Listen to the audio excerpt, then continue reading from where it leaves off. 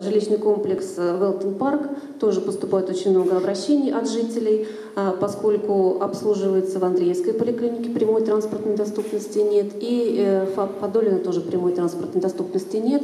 Хотелось бы тоже, чтобы там было выделено помещение по возможности 300-350 квадратных метров для организации амбулатории.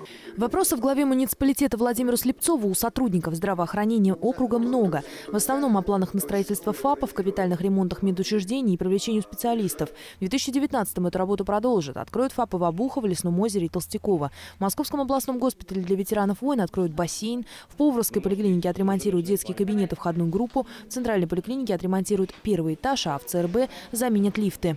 У меня был вопрос о включении в государственную программу Московской области здравоохранения Подмосковья э, такого адресного объекта капитального строительства, ремонта, как э, наша центральная районная поликлиника. Здание 82 года постройки, четырехэтажное, требует капитального ремонта, проблему с лифтами.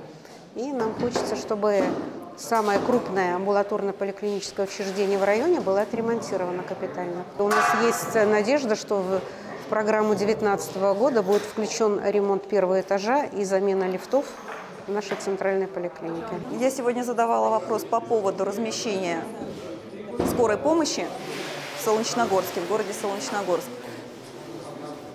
Очень мне понравился ход мыслей выступающего, то есть главы, да, и я очень надеюсь, что все это реализуется, действительно будет реализовано, и, как сказано, до 2020 года расселение планируется той, э,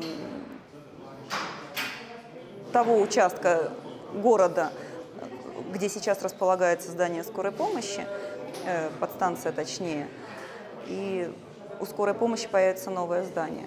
Владимир Слепцов отметил важность усиления в привлечении медицинских специалистов, особенно узких. Для медработников предусмотрена социальная ипотека, компенсация на аренду жилья и проезд.